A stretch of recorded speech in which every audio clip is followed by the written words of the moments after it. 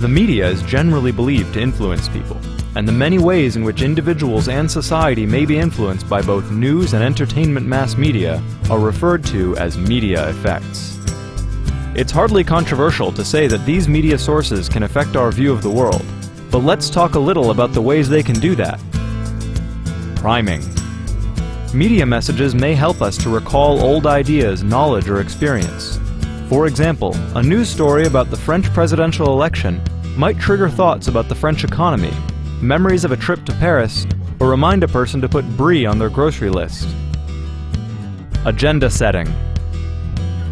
Also called gatekeeping, this refers to the fact that the media controls the information we get, and therefore what we think about. Editors have a lot of power here, because they are ultimately the ones who decide what we're thinking about. Framing.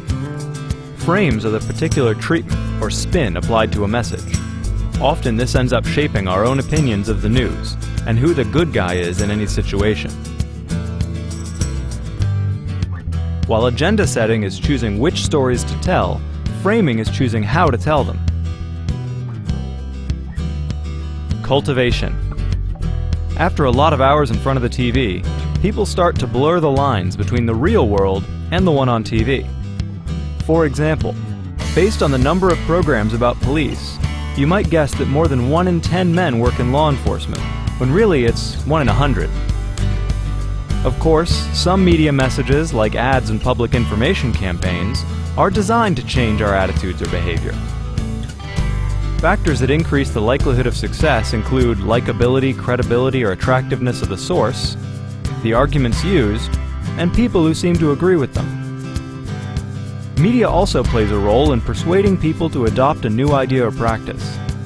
Often they first communicate messages about the new idea which then spreads through interpersonal networks expanding over time to include social leaders, peers, and the community. This eventually leads to the adoption of the idea or innovation, reaching a critical mass. In today's world, it's impossible to avoid media influence, but by understanding the way it works, you can win back control of your perception and seek to have a balanced view of the world and the people in it.